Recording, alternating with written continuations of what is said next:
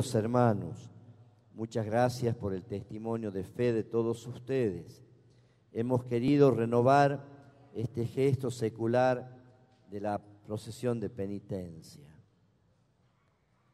En el corazón de la devoción al Señor del milagro está la verdad. La verdad de lo que somos y la verdad de nuestras relaciones más profundas. Mucho se puede pensar sobre el tema de los temblores. La inmensa mayoría de nosotros hemos experimentado los temblores de febrero del 2010. Y hemos sentido miedo, como cualquiera que siente miedo, como cualquiera que se enfrenta a una situación que no puede manejar. Hemos sentido mucho miedo. He salido a la calle y el pedido de la gente nos llevó a nosotros a intentar como repetir el gesto, en ese caso no de sacar la imagen del Señor y de la Virgen, sino de abrir las puertas de la catedral para rezar juntos. Después a la noche, sí, se sacaron las imágenes peregrinas del Señor y de la Virgen. ¿Se explica la devoción al Señor del Milagro por el miedo?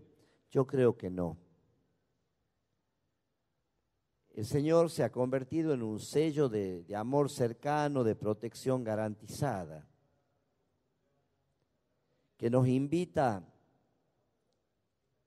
a cuidar nuestra casa, nuestra ciudad, como Él la cuida. Hoy la ciencia explica por qué no pasó nada, digamos así, porque la, onda expansiva se fue por el lado de la quebrada del toro. Pero de hecho esta casa se ha convertido en la casa de todos, van pasando los siglos y, y mientras se va como consolidando la casa, el Señor nos va cuidando. Y nos compromete a nosotros a cuidarla la casa. Por eso una primera verdad que le traemos al Señor es nuestro vínculo con la tierra, con el ambiente, con las personas.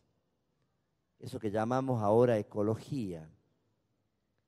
Y que también como cristianos nos compromete, con el mismo entusiasmo que tenía San Francisco de Asís, a amar la creación y a cuidarla, a enseñar a los chicos a cuidarla, desde el no tirar basura hasta el no romper un árbol,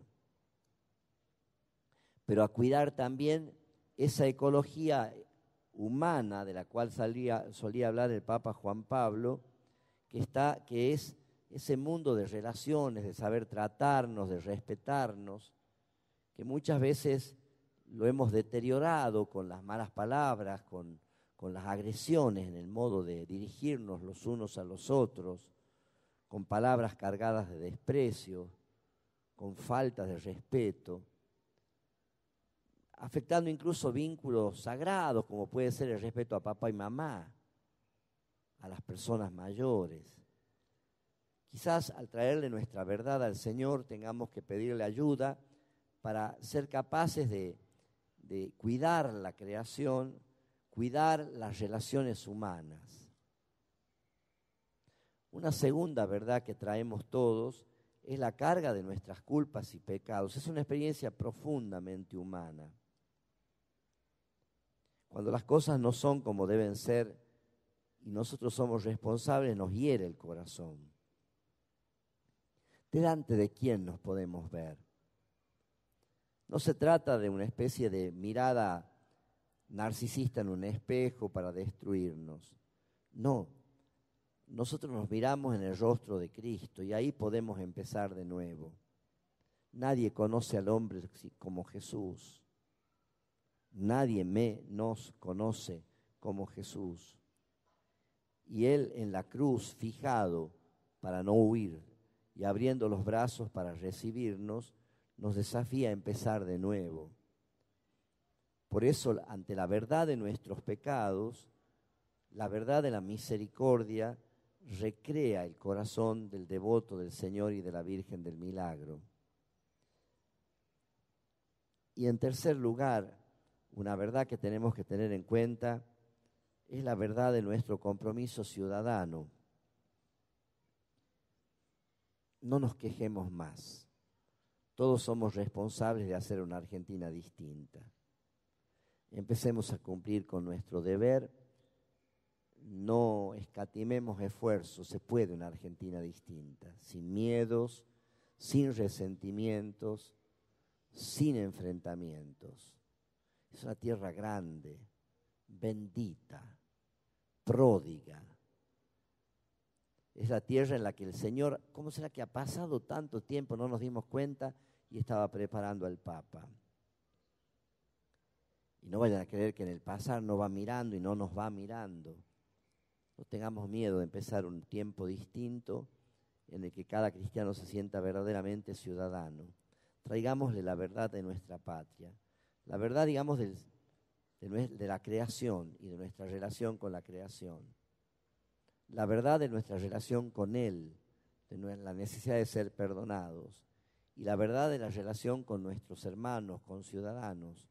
Y la necesidad de ser artífices de una Argentina distinta.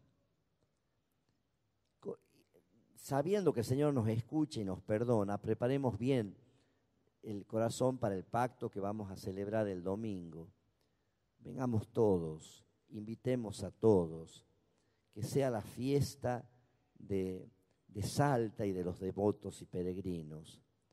Tenemos que hacernos eco del pedido del Papa, tenemos que devolverle a Jesús el amor porque Él nos sigue buscando. En este momento te está buscando y me está buscando.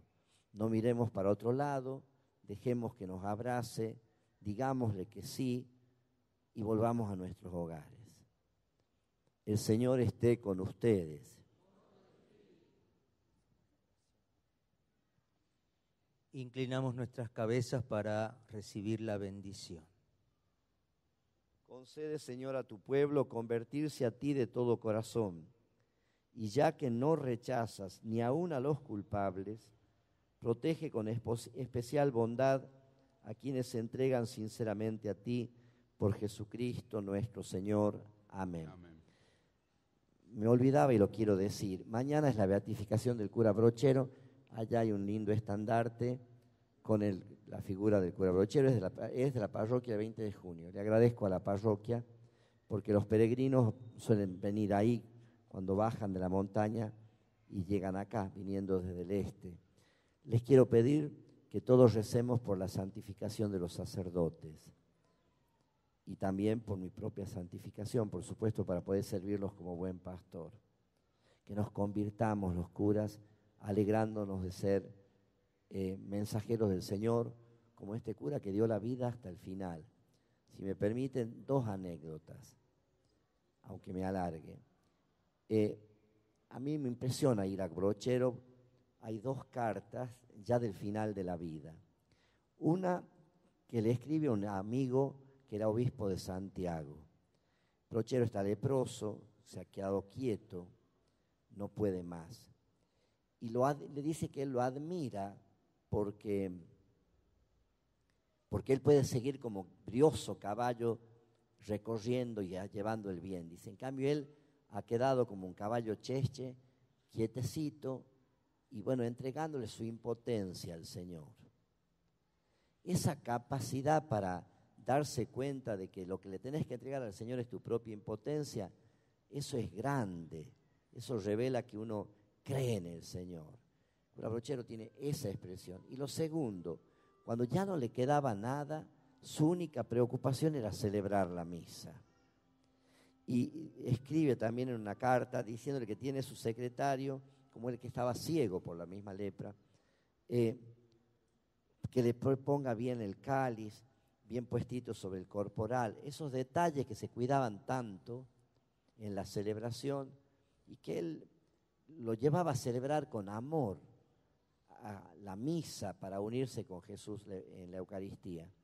Desde esa fuerza de ser dócil al Señor y de amarlo en la Eucaristía, fue grande brochero y mañana la iglesia va a reconocer su culto y nos va a proponerlo como, como modelo una vez más a los sacerdotes. Por eso les pido que también recemos por la santificación, por la conversión de nosotros, los sacerdotes del clero de Salta y del clero de toda la República Argentina. Que la bendición de Dios Todopoderoso, del Padre y del Hijo y del Espíritu Santo, descienda sobre ustedes y permanezca siempre. Amén. Vayamos en paz. Demos gracias a Dios.